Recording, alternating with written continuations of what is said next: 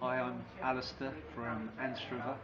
Um, my green dream is to see uh, small rural communities like ours uh, being able to share a lot more and share resources, share our cars, share our spaces for growing food, share our tools even, and having a way of doing that that is easy, uh, legal, it's not going to cause lots of insurance claims, um, it's also about building uh, community spirit and neighbourliness.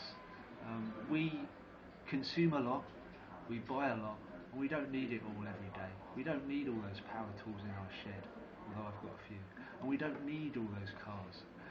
What we do need is to share our resources more and be more clever.